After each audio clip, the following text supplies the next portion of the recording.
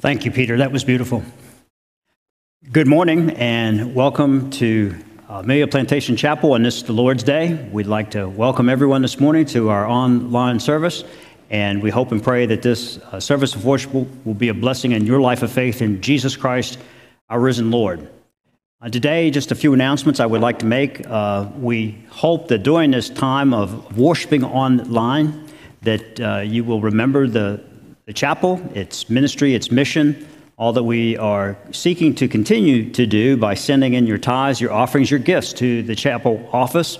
You can also give online if you would like to. You can get there by going through our website. Also, we are in the process of doing a very significant uh, updating of all our email addresses in order that we might more effectively communicate. And so, if you have not been receiving emails, please call the chapel office. Also, uh, Kayla Murray's uh, e- email address is available online as well at our website. And we hope that you will do so because we like to communicate effectively with our congregation uh, during th- this time. Uh, I would like to, on behalf of the Nest uh, Women's Center, I would like to thank everybody who gave generously to that ministry which we support and if you haven't yet, you can, you can still send a, a gift in. Please make out any checks to the Nest, uh, a, a Women's Center. And also, you can give online at their website. And um, today uh, is the day we're going to celebrate the Lord's Supper. And so I hope you'll take the time at home, uh, if you haven't done so yet, to uh, prepare bread and juice in order that we might take it together. And you are going to see the people here. I'm not sure how much the camera will pan, but we're going to be taking communion the way that we're going to take communion uh, on into the future, and that is with individual communion uh, packages. And it has both the wafer on the top and then the juice on the bottom. I'm going to demonstrate this uh, one more time, and probably more than that, but I hope that uh, you will become accustomed to this for the unseeable future as we try to keep everybody safe and also still participate in the Lord's Supper together. And if you will, just remember to there's two tabs and the clear tab on the top, you just pull back and there will be a wafer. The wafer representing the body of Christ. You will at the appropriate time you will consume that. And then you will open up the bottom part, which is the juice. And at the appropriate time, we will uh, participate together in in a drinking uh, representing the, the sacrifice and the blood of our risen Lord Jesus Christ. So we will also then take the cup together. This is an effective way, uh, one that's being used by many congregations across the United States now to uh, participate together in the Lord's Supper. And um, we hope that you will look forward to being back when we can do this together. But um, let us just celebrate with joy today in our own homes and here at the chapel. And let's remember the sacrifice that Christ made for us. And now, my friends, let us worship God.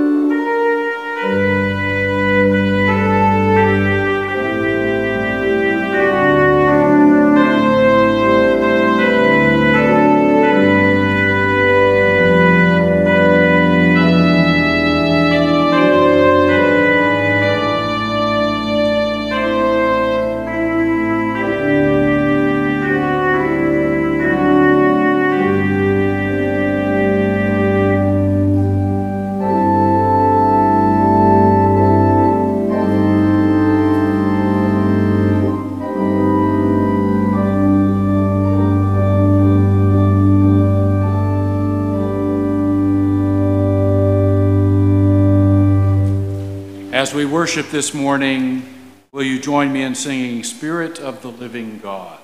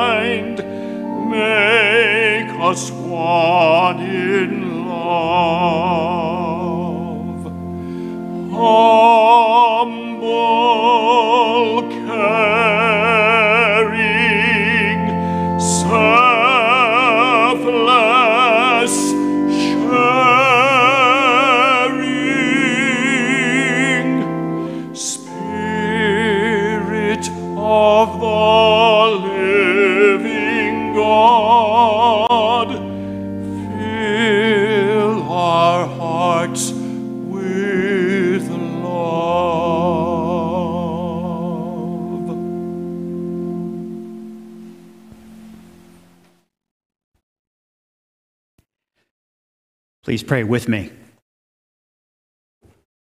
Almighty God, we acknowledge this morning that you are God of all creation.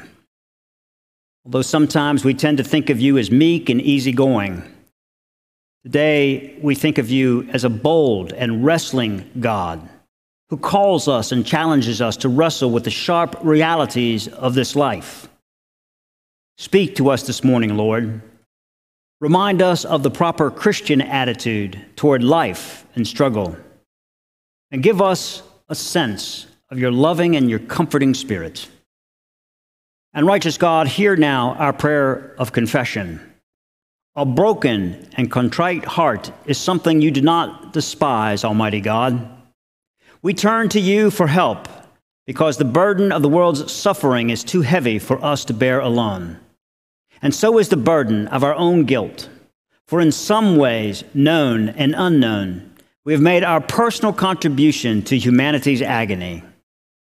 Cast our sins away and forgive us in Christ's love. Assure us that in partnership with you and all faithful people everywhere, we may work for that which is good and creative, without fear that is crippling. For we pray in the name of Jesus Christ our Lord. Amen. My friends, in Psalm 103, we read, As a father pities his children, so the Lord pities them who fear him. Indeed, I declare unto you this day, in the name of Jesus Christ, our sins are forgiven. Therefore, we sing.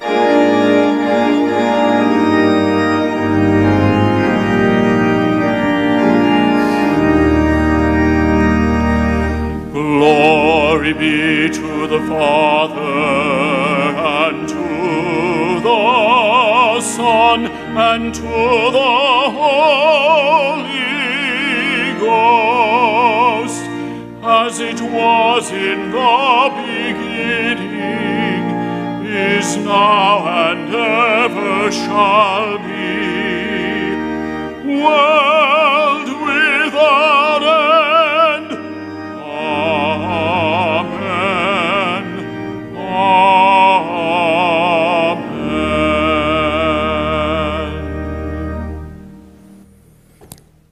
Let us now profess what we say we believe by reading together, reciting together the Nicene Creed. I believe in one God, the Father Almighty, maker of heaven and earth, and of all things visible and invisible, and in one Lord Jesus Christ, the only begotten Son of God, begotten of his Father before all worlds, God of God, light of light, very God of very God, begotten, not made, being of one substance with the Father, by whom all things were made, who for us and for our salvation came down from heaven and was incarnate by the Holy Spirit of the Virgin Mary, and was made man, and crucified also for us under Pontius Pilate. He suffered and was buried. The third day he rose again according to the Scriptures, and ascended into heaven, and sits on the right hand of the Father. And he shall come again with glory to judge both the quick and the dead, whose kingdom shall have no end. And I believe in the Holy Spirit, the Lord and giver of life, who proceeds from the Father and the Son, who with the Father and the Son together is worshiped and glorified, who spoke by the prophets. And I believe in one Catholic and Apostolic Church. I acknowledge one baptism for the remission of sins, and I look for the resurrection of the dead and the life of the world to come. Amen.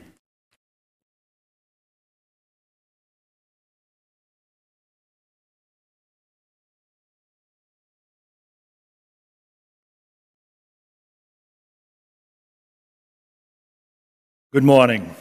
Today's reading is from the book of Genesis, chapter 32, verses 22 through 31. Jacob wrestles with God. That night, Jacob got up and took his two wives, his two female servants, and his eleven sons and crossed the ford of Jabbok. And after he had sent them across the stream, he sent over all his possessions. So Jacob was left alone, and a man wrestled with him till daybreak. And when the man saw that he could not overpower him, he touched the socket of Jacob's hip, so that his hip was wrenched as he wrestled with the man. Then the man said, Let me go, for it is daybreak. But Jacob replied, I will not let you go unless you bless me. The man asked him, What is your name? Jacob answered. Then the man said, Your name will no longer be Jacob, but Israel, because you have struggled with God and with humans and have overcome. Jacob said, Please tell me your name. But he replied, Why do you ask my name? And then he blessed him there. So Jacob called the place Peniel, saying, It is because I saw God face to face, and yet my life was spared. The sun rose above him as he passed Peniel, and he was limping because of his hip. The word of the Lord.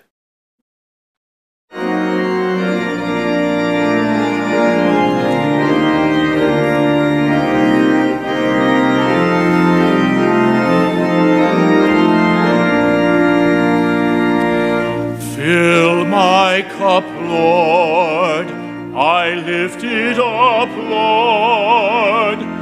Come and quench this thirsting of my soul. Bread of heaven, feed me till I want no more. Fill my cup, fill it up and make me whole.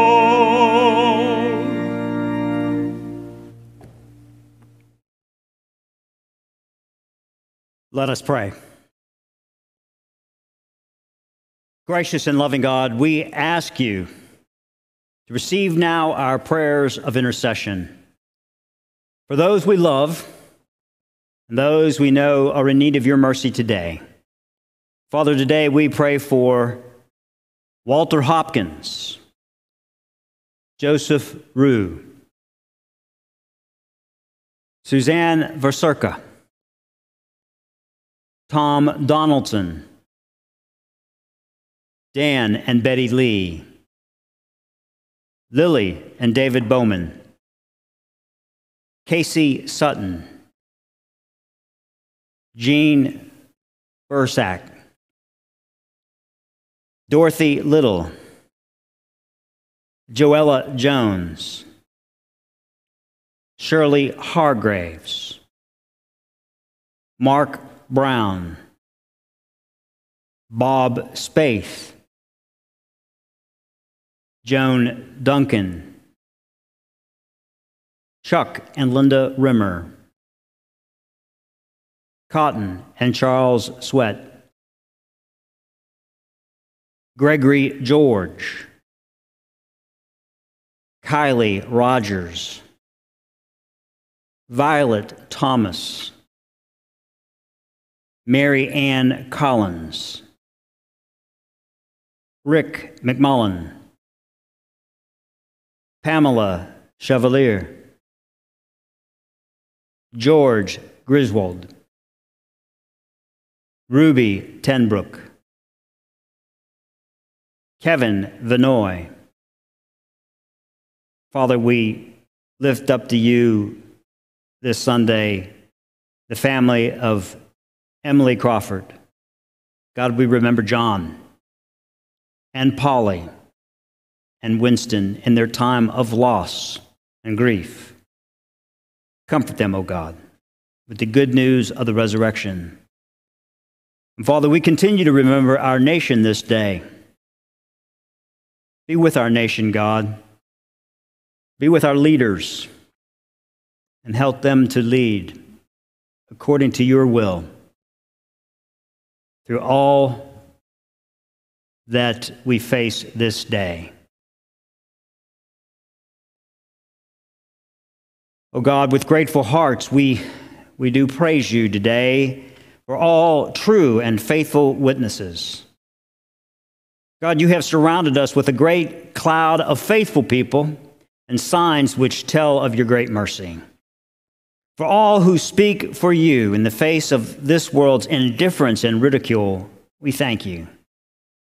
May they continue to reveal your way in the midst of, of confusion and blindness.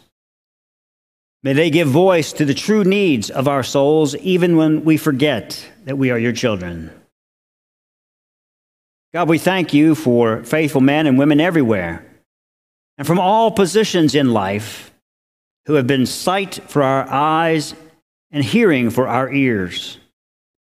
When we have turned from your living word, they have called us to listen. When we have walked in darkness, they have carried the lantern of your truth before us. Almighty God, help us, we pray, to walk in the company of this great cloud of faithful witnesses, that we may run together with perseverance the race that is set before us, looking always to Jesus, the pioneer and the perfecter of our faith. For it is in his name we pray. Amen. And now, my friends, let us remember the words of Jesus when he said, It is more blessed to give than to receive. Let us remember this as we uh, remember the ministries and the missions which God has called us to and which we seek to faithfully support. Let us pray. Almighty God, our offerings are truly signs of our commitment, as well as signs of our unceasing gratitude for the gifts that you bestow. Help us each day to sincerely follow Christ's leading, striving to discover your will and your way through life. For it is in Jesus Christ's name that we pray. Amen.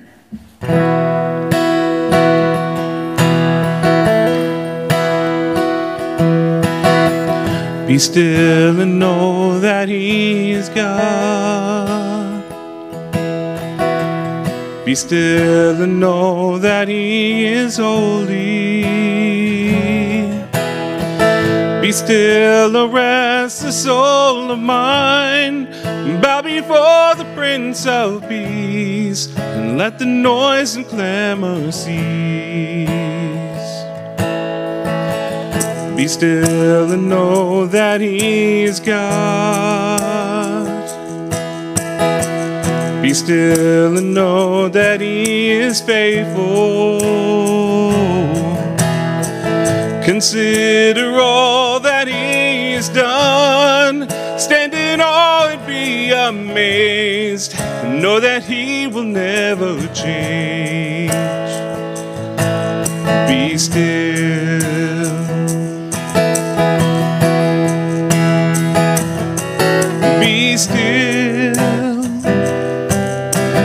Know that He is God.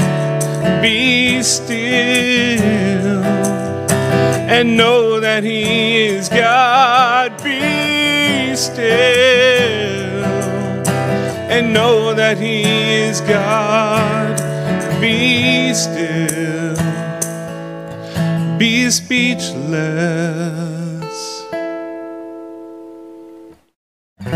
Be still and know that He's God. Be still and know He is our Father. Come rest your head upon His breast.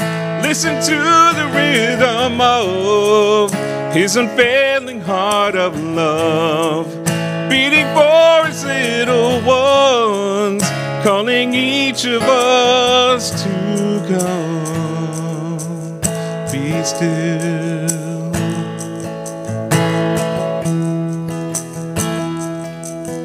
Be still.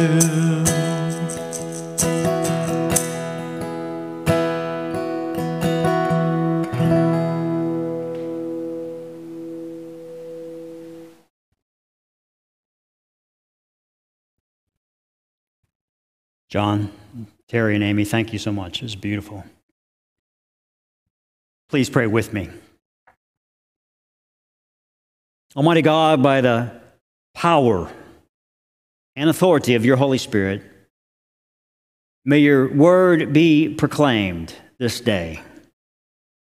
Father, grant us understanding that we may believe, and faith that we might follow our risen Lord, Jesus Christ. Amen. Wrestling, with origins that can be traced back over 15,000 years to cave drawings in France, wrestling is actually one of the, the earliest and most popular sports of human history. Babylonian and Egyptian reliefs depict specific holds that any high school or, or college uh, wrestler could identify. And of course, in ancient Greece, wrestling became prominent in literature and legend, often recounting the, the brutal matches of the ancient Olympic Games. Now, some of us, I'm certain, might have preferred that Jacob and God aired their struggles through, through more civilized conversation and debate. But I believe our text demonstrates, at least uh, metaphorically, a much wiser, albeit earthly, solution to a, a dilemma that humanity has faced since the dawn of time. Unless we grapple intimately, unless we grapple intimately with who God is for us and who we are in light of this relationship, we will never have a fulfilling nor complete, although it will always be incomplete, understanding of who God is and therefore who we are. Now, Jacob, as we know from scriptural witness, was a man who had a tenacious faith in himself and his future, and eventually in his God. He entered the world literally clinging to the heel of Esau, who had the privilege of being the firstborn male of Isaac.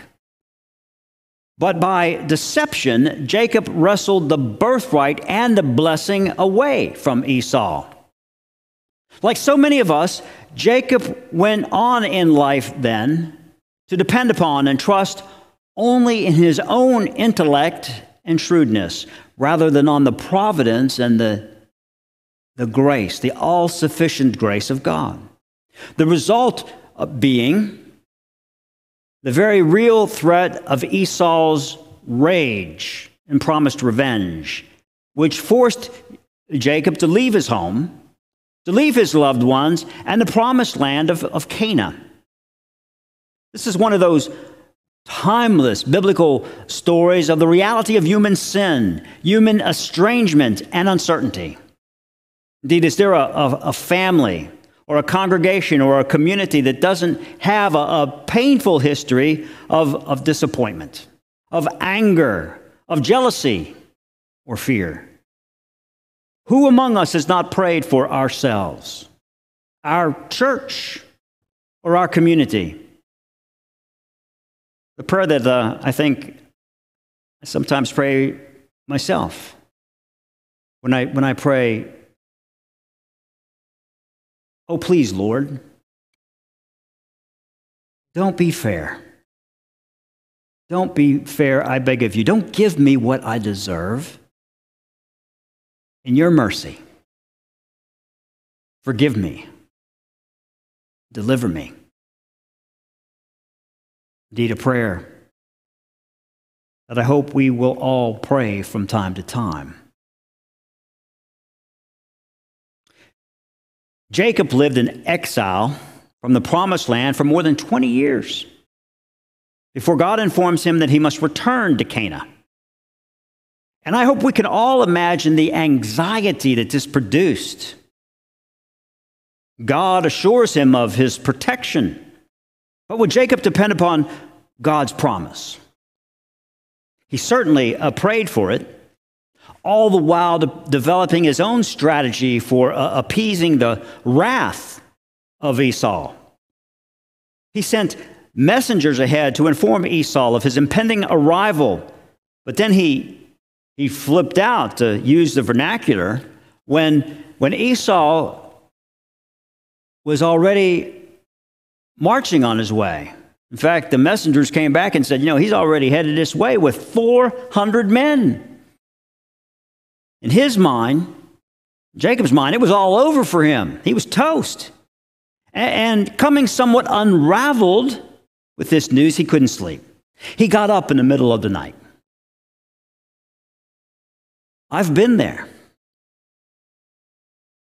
Have you?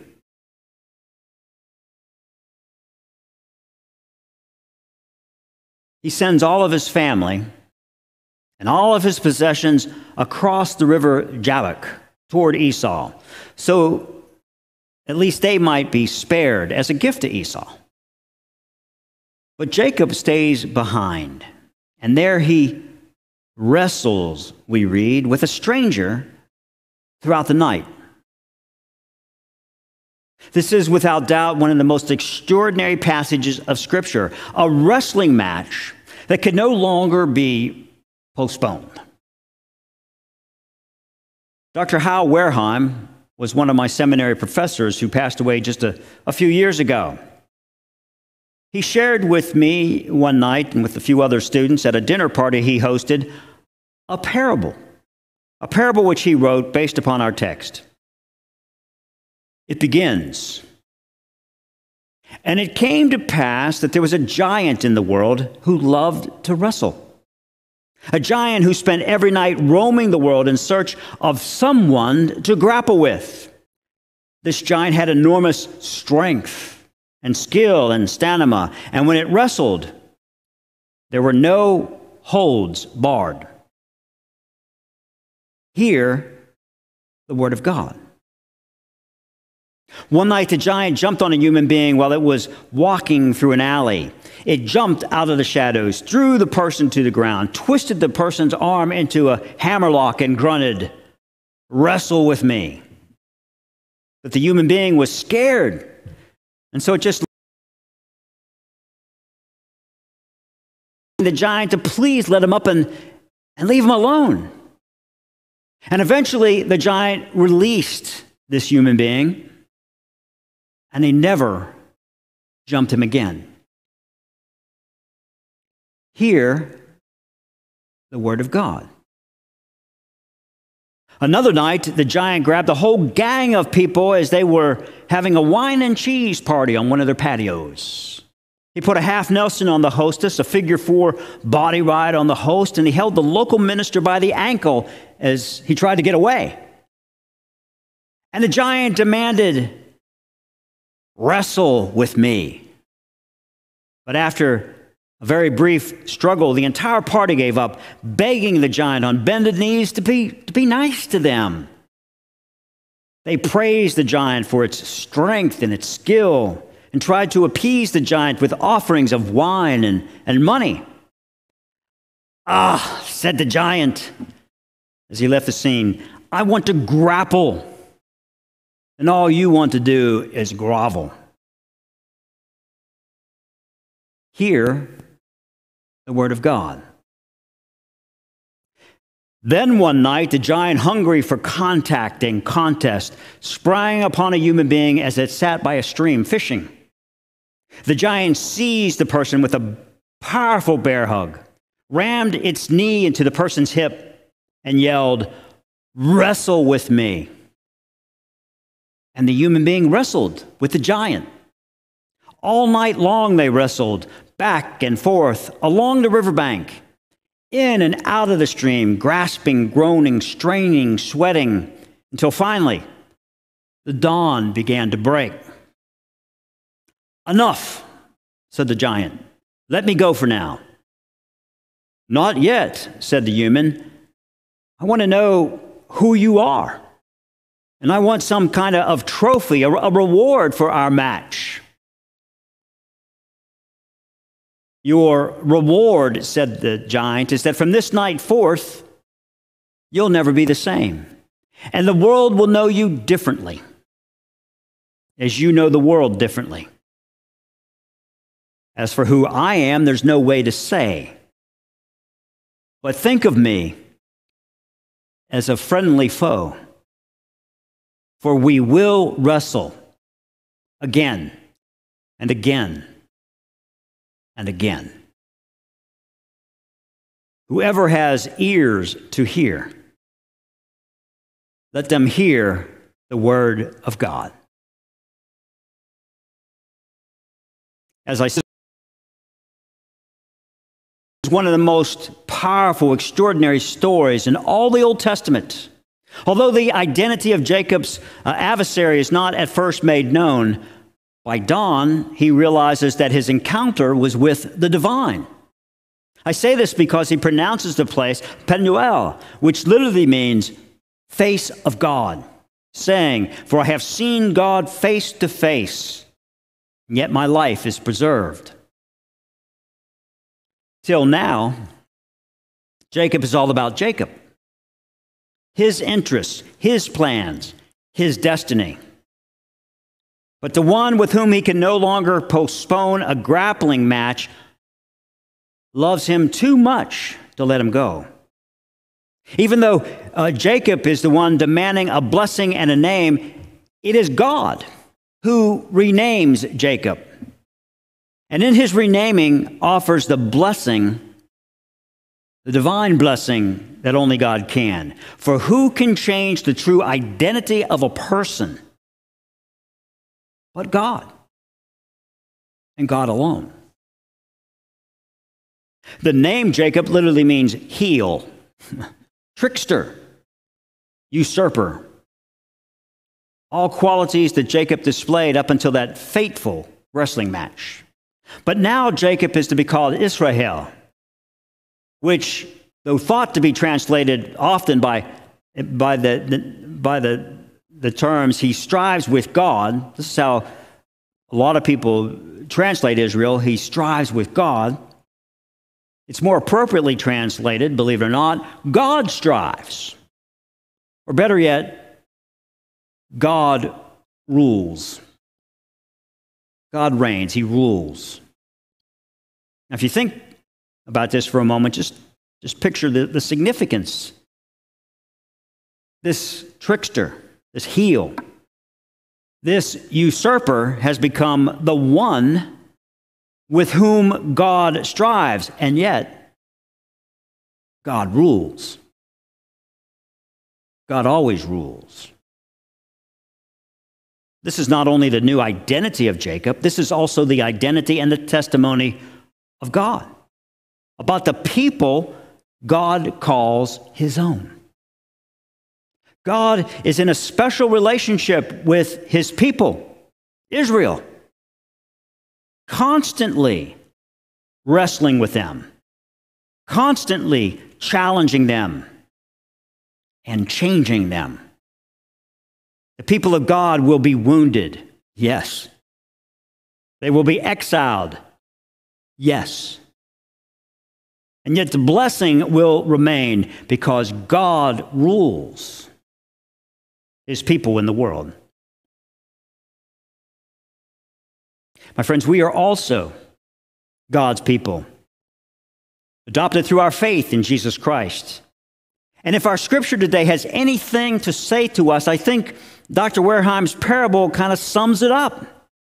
That when the experience is common to every human life, every human being, that is, the, the rough and the tumble realities of this life jump on us. When they jump on us, there's only a few ways that we can respond. We can lay down and whimper, we can give up and grovel, or we can wrestle for all we're worth until the dawn of a new day.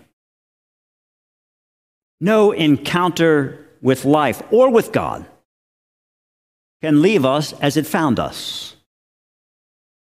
And it often leaves us with a limp, as it did Jacob. You see, we're not a perfect people. We've all attempted known, lived through, and yet endured the same experiences and more of both Jacob and Esau. And so, what can we learn today from our text? Well, one thing is for sure God is not divorced from the human experience, God is involved. Where there is pain, estrangement, or disobedience, God will call us out. And it's a wrestling match that we cannot postpone forever. God will meet us on some dark night when we are all alone and least expected, and there will be no holds barred. And yet, despite our, our wounds, our limp, our grumbling, deep down, we will give thanks for the privilege, the privilege of wrestling with God because God will change us. This is why Christ has come. Not to make it easy for us, but to make it real for us. The blessings of life, the blessings of, of struggle and faith in Christ. Jesus summons us to grapple with our giants, just as he had to grapple with his own. Because whatever else God may be, God is also a wrestler. A wrestler who, more than anything else, wants sweaty contact and a spirited struggle with humanity, a relationship that is real. This is why, my friends, we were created. It's a great Reformed catechism, the Westminster, Westminster Shorter Catechism puts it. The very first question What is the chief end of man? To glorify God and to enjoy God forever. But since the fall of humanity, this will result in us finding ourselves in a wrestling match with God from time to time, grappling with Scripture, with the Spirit of God, grappling with ultimates, struggling to discern what is real, what is meaningful, and what is ultimately of significance in this life. My friends, I pray that you and I will be brave enough to enter that ring and give it our best. Because in reality, you and I don't have a choice. Acknowledge joyfully the reality that you're not going to win in a contest with God, with life, with sin, except for this. If you cling to this giant, to this divine stranger who stalks you by night, if you grab hold of the cross of Jesus Christ and never let go, never let go, he won't change. But you will. So let the contest continue or begin. To the glory of Jesus Christ, our risen Lord. Amen.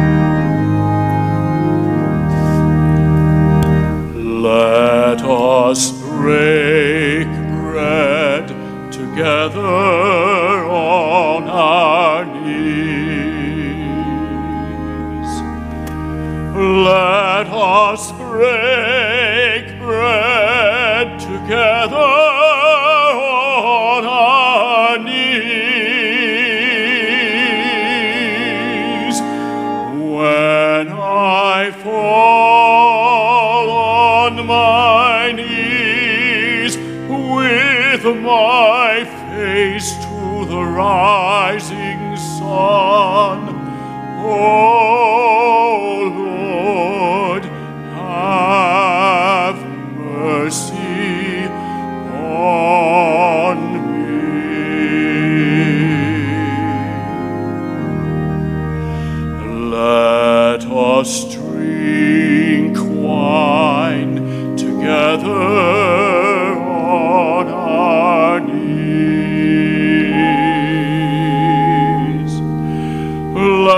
Let us drink wine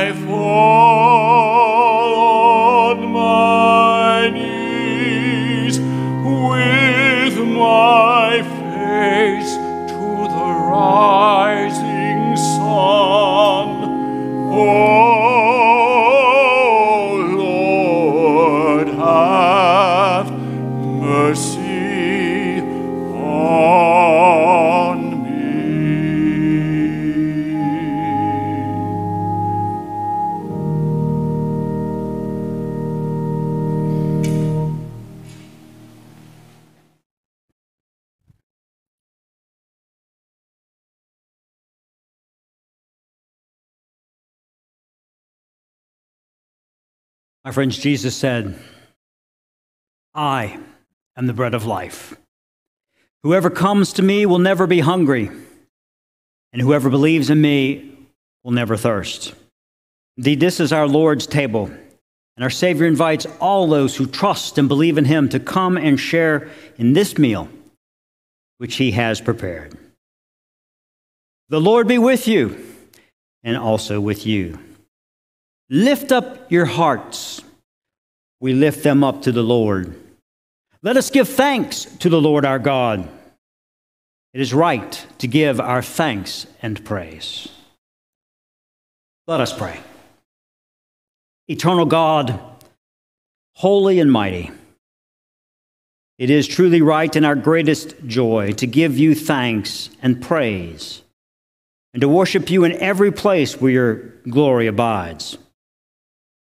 Therefore, we praise you, joining our voices with the angels and with the company of heaven, who forever sing this hymn to proclaim the glory of your name. Holy, holy, holy Lord, God of power and might, heaven and earth are full of your glory. Hosanna in the highest. Blessed is he who comes in the name of the Lord. Hosanna in the highest.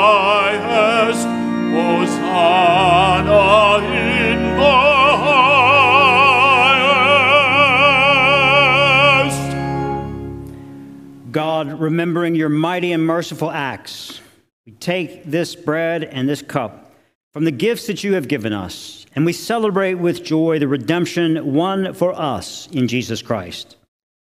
Accept this sacrifice of praise and thanksgiving as a living and holy offering of ourselves, that our lives may proclaim the one crucified and risen.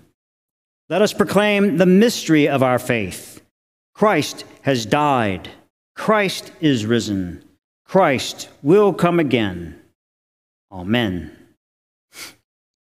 Our Lord Jesus Christ, on the night of his arrest, took bread, and after giving thanks to God, he broke it and said, This is my body, which is broken for you. Whenever you do this, remember me. And in the same way, after supper, Jesus took the cup and said, This cup is the new covenant sealed in my blood. Whenever you drink it, remember me.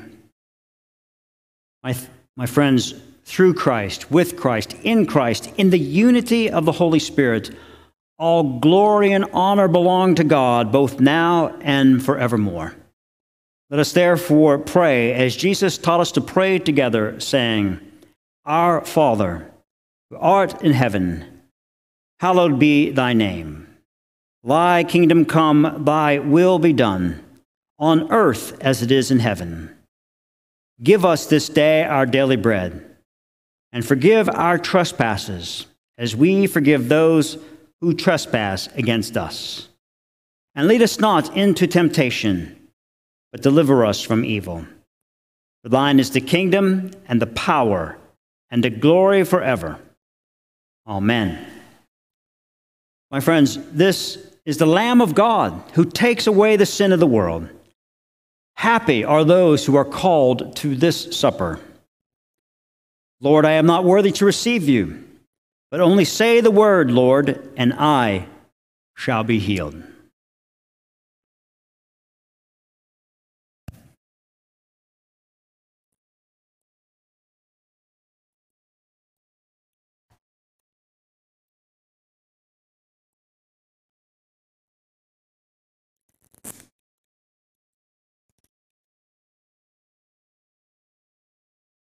The body of Christ broken for you and me.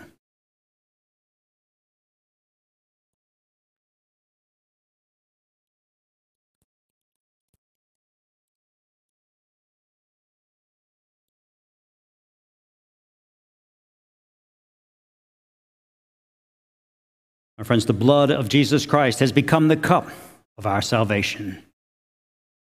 Let us drink of it.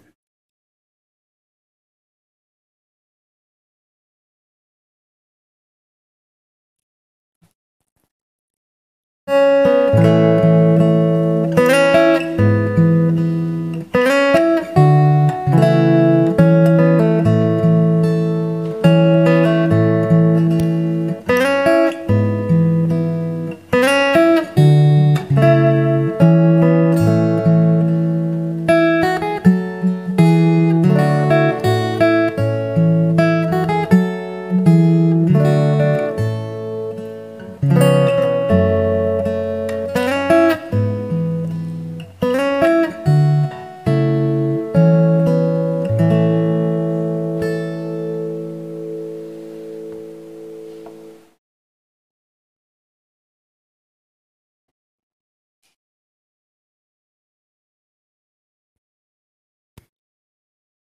Please pray with me. Heavenly Father, God of all compassion, through your Son, Jesus Christ, you reconciled your people unto yourself. Following his example of prayer and teaching, may we obey you with willing hearts and serve one another in holy love. In the name of God the Father, God the Son, and God the Holy Spirit. Amen.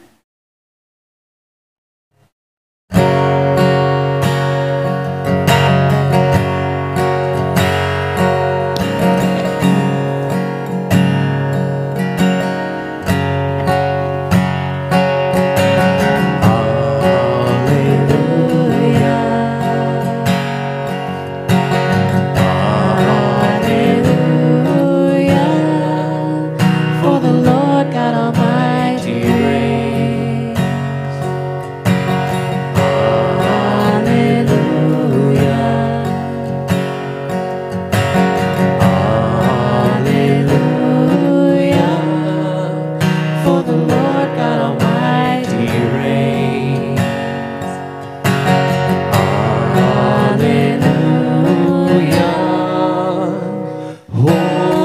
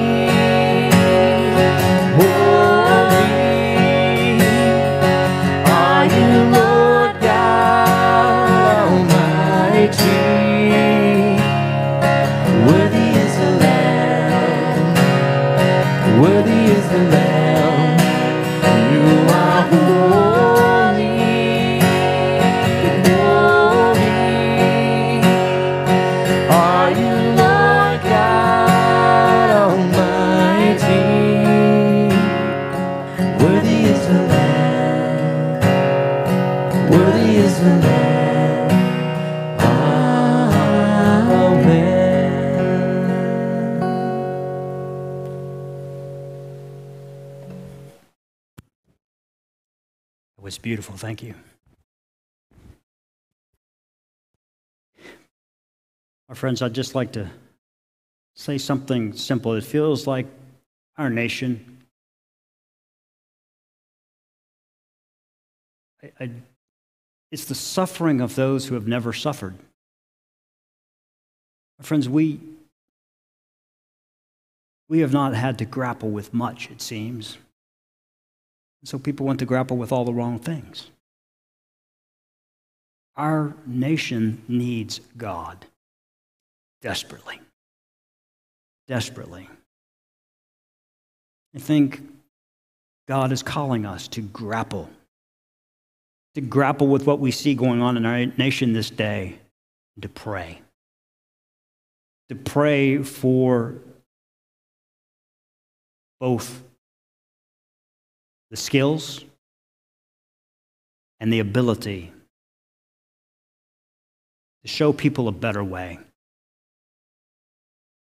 You know, we are so blessed as a nation, but I feel in many ways we are threatened to lose those blessings. Therefore, let us grapple. Let us grapple with what we're facing. And let us ask God to come and to intervene, to wrestle with us, to wrestle with those, their hearts and minds that we might have a better idea of the path he calls us to walk.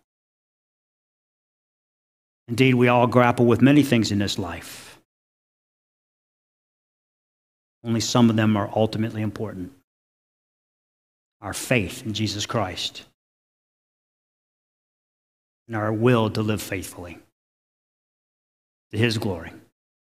So as we go, may the grace and the peace of God the Father, God the Son, and God the Holy Spirit be upon each and every one of us, both now and forevermore. Amen.